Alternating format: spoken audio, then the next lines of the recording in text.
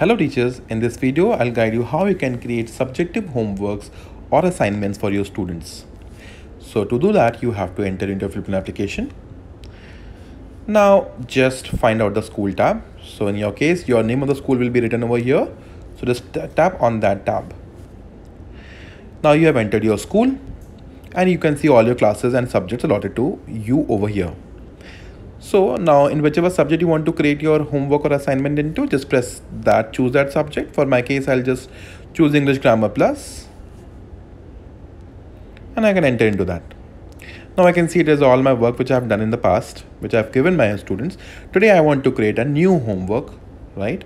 So to do that, I will just press on the add an activity or resource button. Now I'll just press on the all options. So it will show you show me all the all the features I can access. Right now I want to create an assignment. So just choose assignment. Now the system will ask me a couple of things which I have to give the input of. So the assignment name can be pen, paper, homework on adjectives. Now I can decide to write questions over here. I can type questions, question one, question two, or if I have the ready-made uh, uh, text I can just copy and paste over here right? Also I can attach the question paper image also. So I can just choose the image option.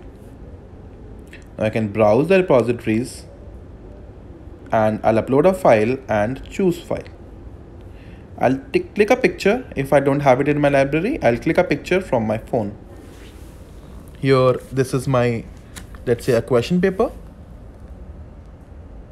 I'll click a picture and I'll use the photo. Now attach this, I can just press on the upload, skip all of this and press on the upload this file.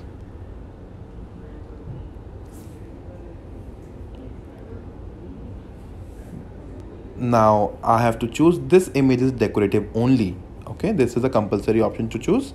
This image is decorative only and just press on the save image.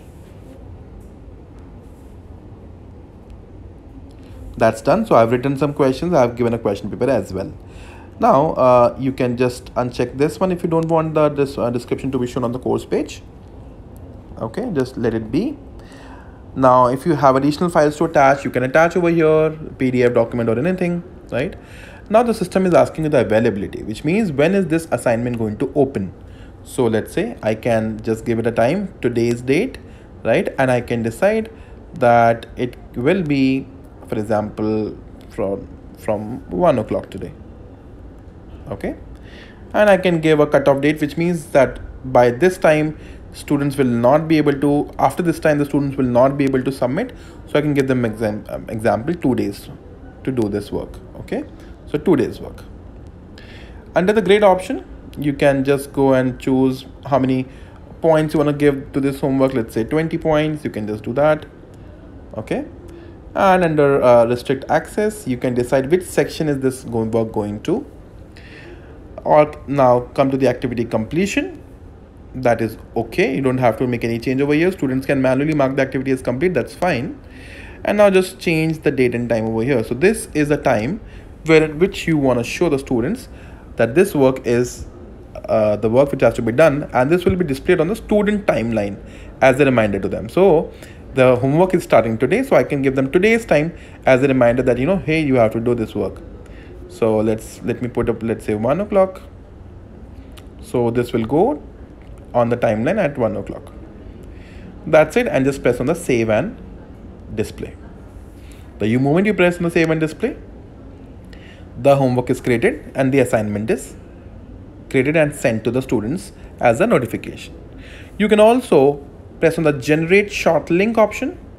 You see this homework you have come on top pen paper homework on adjectives. Students have similarly got the notification on their phones. Also if you want to share it directly you can also press on the generate short link.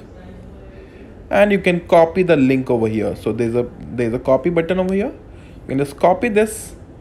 This is copied okay. Now the moment you copy it you can send it to the students through WhatsApp or any other tool which you want to share it with. Okay. However, it has already gone to the student's phone and then in the timeline it is it will show on the right time. So that's an additional feature which we are giving to you. okay now when the students start to submit their work you will see that right now that you have got 24 participants in your class and submitted by zero the moment students start to submit you will get see, see the number will increase and then you can press on the view all submissions and then that you can actually see how many students have submitted their answer sheets. So that's all teachers. This is how you can create assignments. Thank you so much for watching.